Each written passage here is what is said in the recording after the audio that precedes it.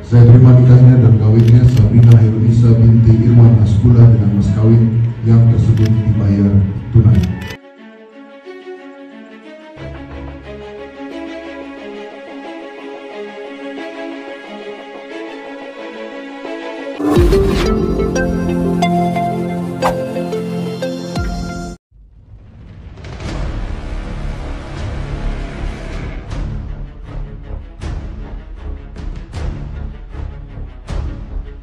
Pernikahan Deddy Corbuzier dan Sabrina Khairunisa rupanya juga dihadiri pasangan Triswaka dan Nabila Maharani.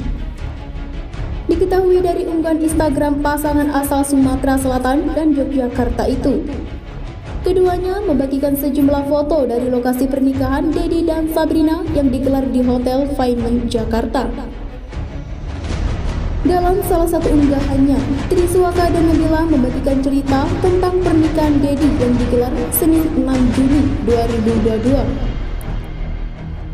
Tak seperti acara resepsi pernikahan pada umumnya, Triswaka mengaku di pernikahan Dedi tidak disediakan kota untuk amplop.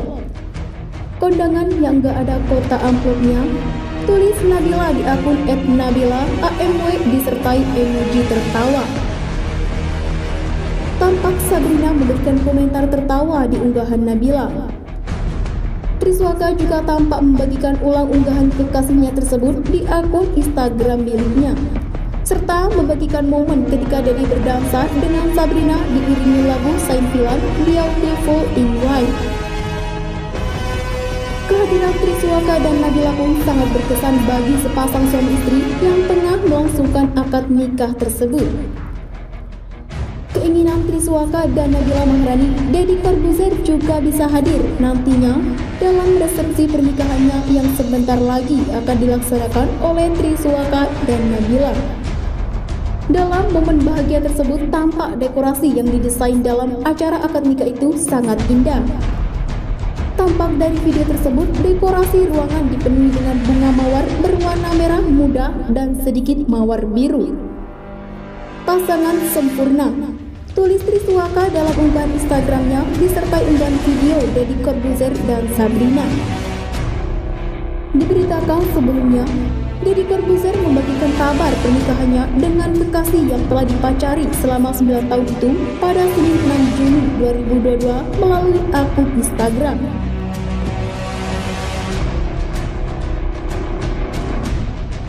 Melalui video singkat yang dibagikannya, terlihat Dedi melakukan akad nikah dengan saksi Jenderal TNI Profesor Dr. Andes AM Hendro Priyono dan Jaksa Agung Profesor Dr. Andes ST Burhanuddin SHMM.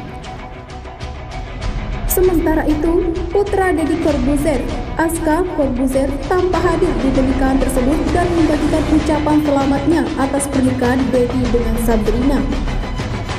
Jadi, Aku rasa semua orang sudah tahu ayahku dan Kak Sabrina menikah.